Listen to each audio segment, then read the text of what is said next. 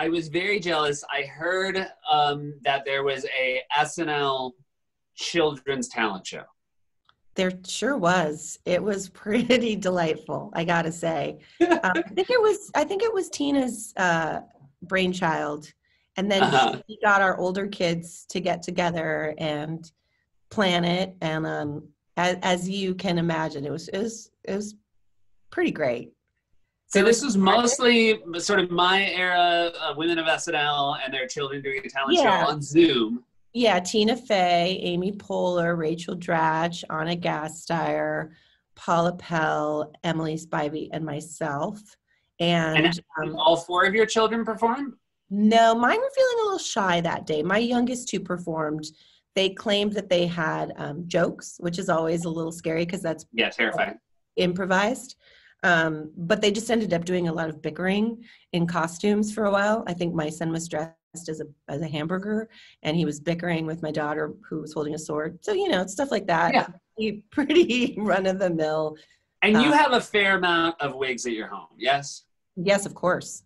Yeah, I'd be happy to hear that.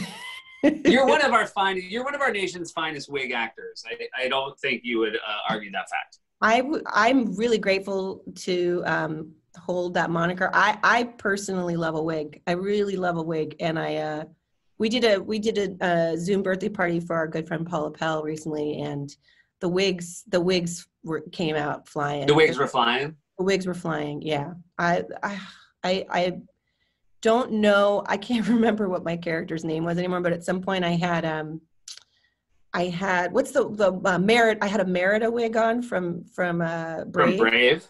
But yeah. it's so long and red that it did. I I looked nude, and then um, somehow we decided that she was a. Um, she was like um, Carole Baskin, but for dogs. So she had a dog, a dog sanctuary. She was pretty Gotcha. hateable. She was really hateable. That's good. I see. These are. It's fun to do a talent show and find new characters. Yeah, that's listen. I got time, Seth. That's that's what, that's what I do with my time. Uh, you. Uh, I was wondering what you think. Have you watched any of the SNL at homes? Because I, I watched on Saturday, and uh, I found it so. It's also fascinating to me, especially because there's a way they're doing SNL now that you and I have never experienced. Are you Yeah. at all jealous that you uh, don't get? I mean, again, like it's for a bad reason that they're doing it, but it does seem like it's bringing out some real creativity. I think it's I think it's lovely, um, and I I loved the very first episode um, for that. I felt like it really held on to that spirit. It reminded me so much of that spirit of when we worked at the show. You know, I mean, Yeah. when we worked there, it was I you know after September 11th. Um, I remember having to come into the writers' room and um, figure out what we were going to do in light of what was going on. I remember the day that they said, "Hey, there's anthrax in the building," and we had a show that week, and we lost our host, and then our host came back. I mean, these things all started flooding back in my head of like, "Oh yeah, we we we kept working," and there was a looseness and um, a joy and a goofiness in in those in those those episodes, and then uh, and and and seeing Kenan in a blanket as a costume was like maybe my favorite Yeah, Kenan in a blanket's always going to be a winner. it's it's top of top of my list.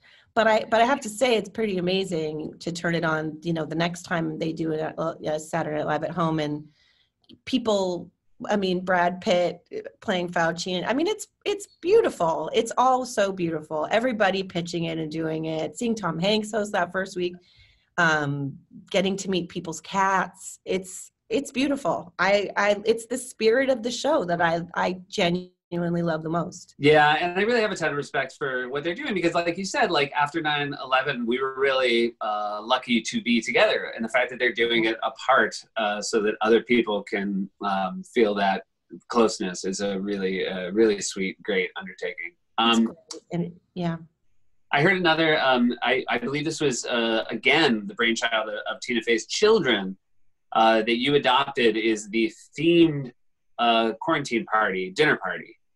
The themed dinner party is the, I mean, I was so impressed with the initial um, idea. Tina sent a video of her girls putting together like a, uh, a themed airline dinner. So you have How does this work?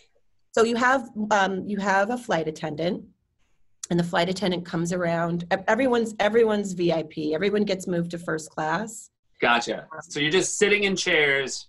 Sitting the in chairs, everyone gets an iPad and everyone gets their order taken.